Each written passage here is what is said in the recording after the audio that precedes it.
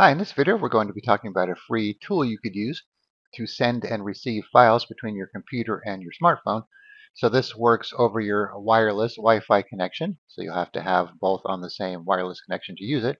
So we recently did a video on the Windows Phone Link feature, which is built into Windows, which will let you connect your Android or iPhone to your computer and actually view your photos on your phone, uh, send and receive text messages, and even make phone calls. It's a little bit tedious to set up because you have to do it on the computer, install a special app on the smartphone, uh, give it permission and all kinds of stuff, but it works fairly well. But if you're looking for something simple, just to send and receive files, uh, you could use this tool. So it's called LocalSend. So they have two versions. They have an installable version, which will you know put a shortcut on your start menu there, like any other program. Then they also have the portable standalone version, where you just download the zip file extract it and run the LocalSend app executable like so. And now that we have this running here, it will give your computer a name. So in this case, it called it Good Apple with this number here. So when you connect on your phone, this is what you want to look for. And you have a couple options here, receive and send. And then it'll also give your smartphone a different name.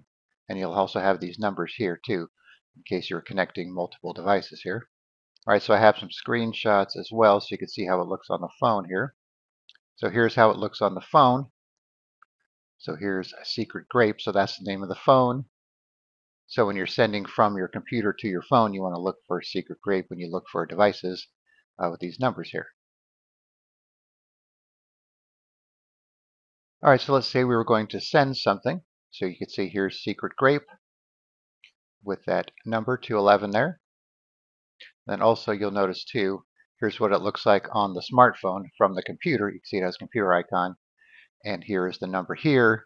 And this is a different number you'll notice if you're paying attention here. This is 225 and this is 141 and that's because I was using a different computer with the app to send files. So it gave it the same name for some reason, but it just gave it a different number. All right, so you can see it has my nearby devices. You could refresh and search the list, make it a favorite, and that way you could give it its own name if you wanted to do that instead of secret grape. All right, so you just click on send a file here. Pick your file. Let's say we want to send a picture. Like so. And on the other end, that's where you would see this here. It wants to send you a file, then you accept it. And then you'll have receiving the files here. And it tells you where it's putting it. And that's pretty much all there is to it when it comes to receiving files from the computer. All right, so if you wanted to send something to the computer, you go to your phone, just do the same process, click on send. Make sure you have the right device there. Then let's say you wanted to pick something from your photos, you would select it like that. You could also do other files besides photos. And then it'll give you a list here of items you've sent in the past here. You could pick one or more of them and then confirm down there. And then it sends the file over.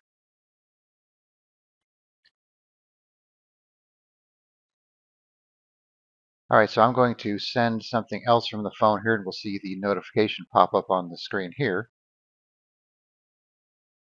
Okay, so you can see Secret Grape the phone wants to send a file. Click on accept.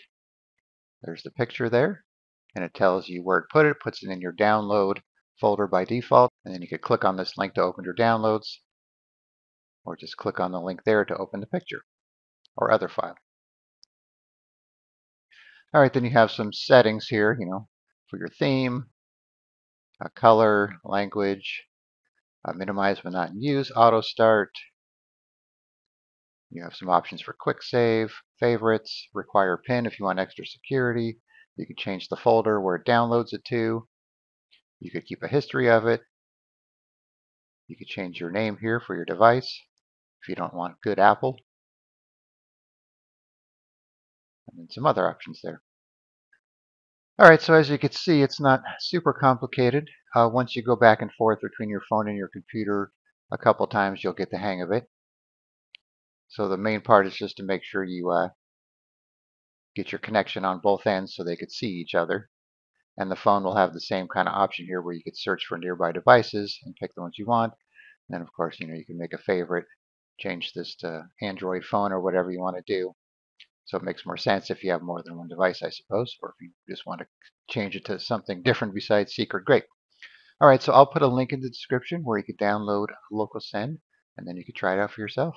All right, thanks for watching. Be sure to subscribe.